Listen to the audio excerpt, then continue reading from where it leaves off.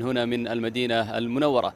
طبعا ضمن الإجراءات الاحترازية والوقائية التي تقوم بها وكالة الرئاسة العامة لشؤون المسجد النبوي الشريف وبالتعاون مع وزارة الصحة ممثلة بمركز صحي الصافية بالمدينة المنورة قامت الوكالة بإجراءات الفحوصات الطبية على العاملين قبل دخولهم إلى المسجد النبوي الشريف ومرافقه وذلك للحفاظ على صحة وسلامة العاملين وأيضا الحفاظ على طهارة وتعقيم المسجد النبوي الشريف. للحديث أكثر حول هذا الموضوع مشاهدينا الكرام ينضم إلي مدير إدارة الصحة والبيئة بالوكالة الأستاذ يوسف العوفي. في البداية نرحب فيك أستاذ يوسف. أهلا بكم أخوي محمد وأهلا بالأخوة المشاهدين.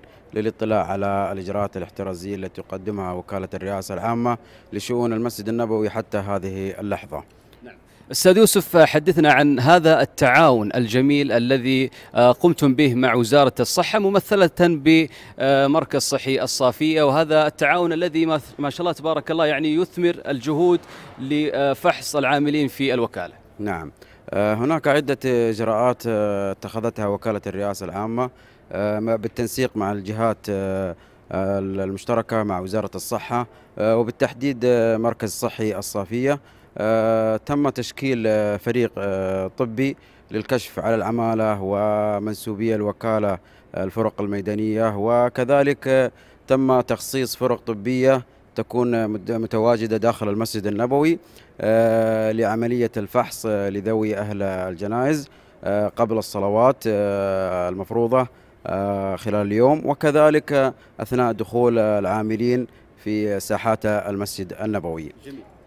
آه كذلك آه هناك عدة إجراءات قامت بها وكالة الرئاسة منها تم تركيب أجهزة تعقيم للتأكد من استخدامها وكذلك التعاملات الإلكترونية لتخفيف. نعم أستاذ يوسف دعنا نقف هنا بالنسبة لنسبة العاملين في الوكالة. ما شاء الله تم تخفيض نسبة العاملين وأيضا التحول إلى التعاملات الإلكترونية والعمل عن بعد. حدثنا عن هذه الإجراءات أيضا. نعم صدرت توجيهات من معالي الرئيس العام لشؤون المسجد النبوي الشيخ الدكتور عبد الرحمن السديس وبمتابعة من فضيلة وكيل الرئيس العام الدكتور محمد الخضيري بتخفيف منسوبي وكالة الرئاسة العامة العاملون بالمسجد النبوي واختصارهم على الفرق, الفرق الميدانية وتخفيف العدد فيهم لضمان سير العمل وكذلك تزويدهم بأجهزة تعقيم للتأكد من ممارسة أعمالهم وسير هذه الأعمال بشكل منتظم.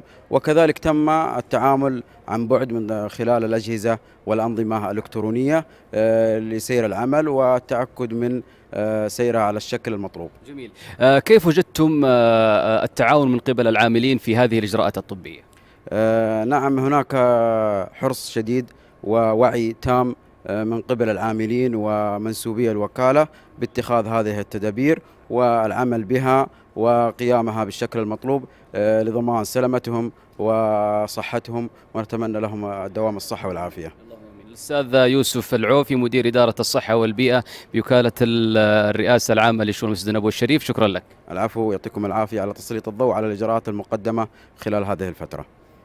إذا إيمان مشاهدينا الكرام من هنا من هذه البقعة الطيبة المباركة المدينة المنورة ومن جوار المسجد النبوي الشريف إجراءات طبية مكثفة تقوم بها وكالة الرئاسة بالتعاون مع المركز الصحي مركز صحي الصافية بالمدينة المنورة للحفاظ على تطهير وتعقيم المسجد النبوي. أيضا الحفاظ على صحة الإنسان وسلامته والعاملين في هذه البقعة الطيبة المباركة. هذا كل ما لدي من هنا من المدينة المنورة.